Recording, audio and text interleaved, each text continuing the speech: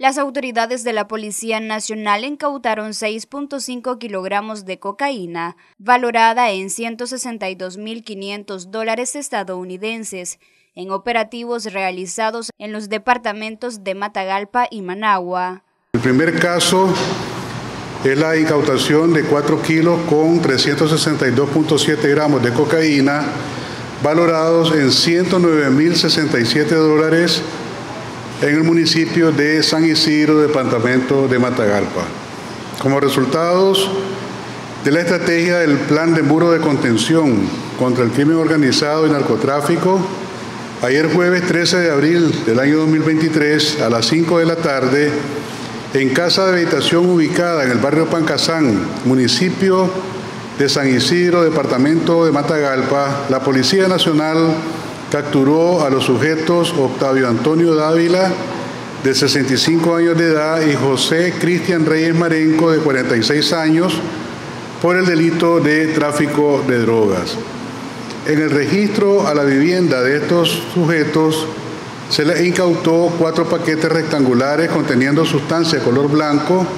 La prueba de campo dio positivo a cocaína con un peso de 4 kilos con 362.7 gramos de la sustancia anteriormente mencionada. El segundo caso se registró en el Distrito 1, Departamento de Managua, específicamente en la colonia del periodista, en vía pública, donde se incautó 2 kilos con 165.2 gramos de cocaína, valorado en 54.130 dólares estadounidenses.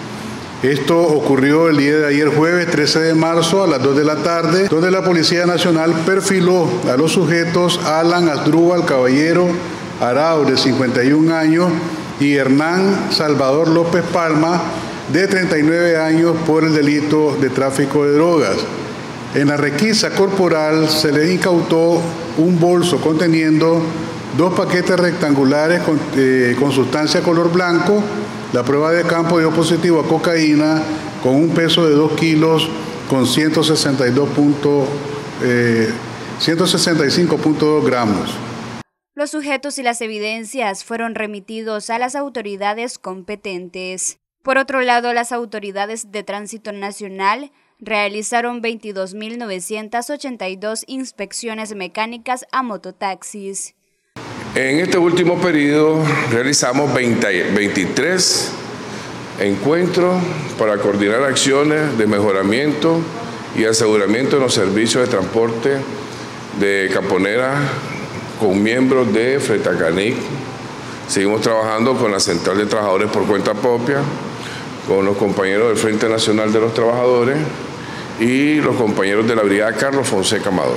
Ya hemos realizado 22.982 inspecciones técnicas mecánicas, en la cual no se ha cobrado ni un solo, no tiene ningún solo valor este, económico a todos los compañeras y compañeras de las caponeras originales y adaptadas.